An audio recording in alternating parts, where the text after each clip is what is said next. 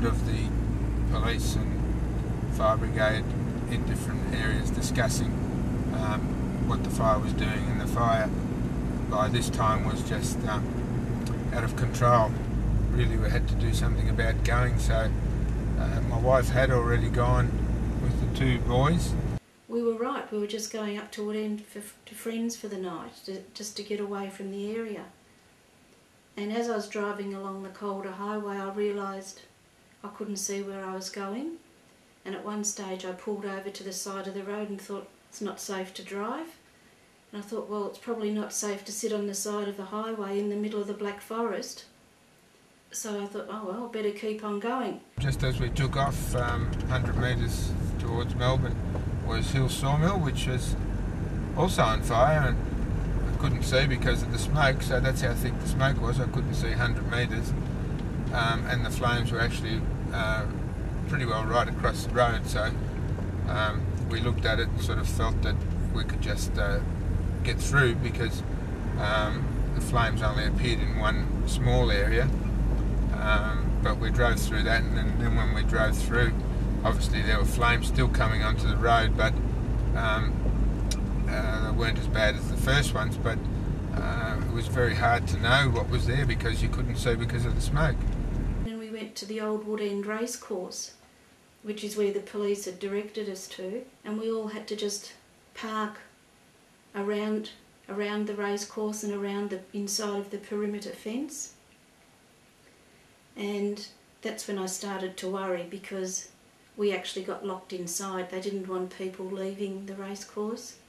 And from the way my car was parked against the fence, I had a full view for the entire night of Mount Macedon burning.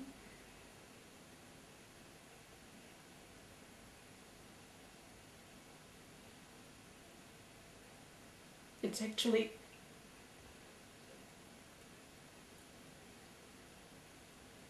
it's actually upsetting for me to remember it.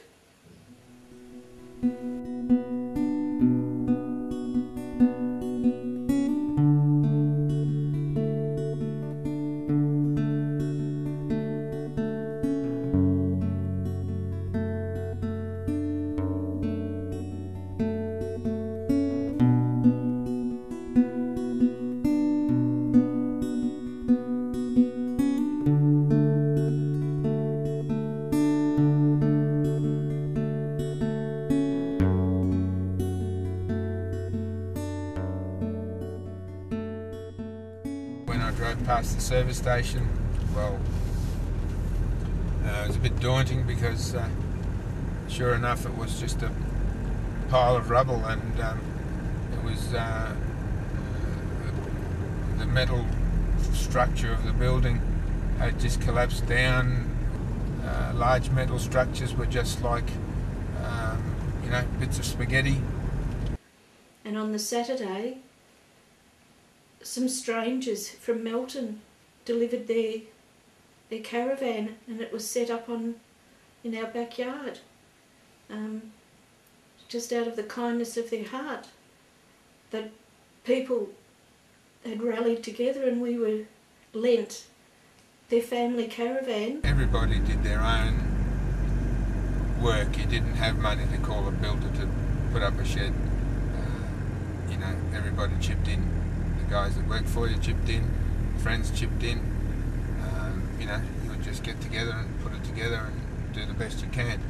And so that was great from that point of view because um, I think the more you work with people and the more you um, uh, associate with them, you sort of get um, sparked up and stops you getting down in the dumps.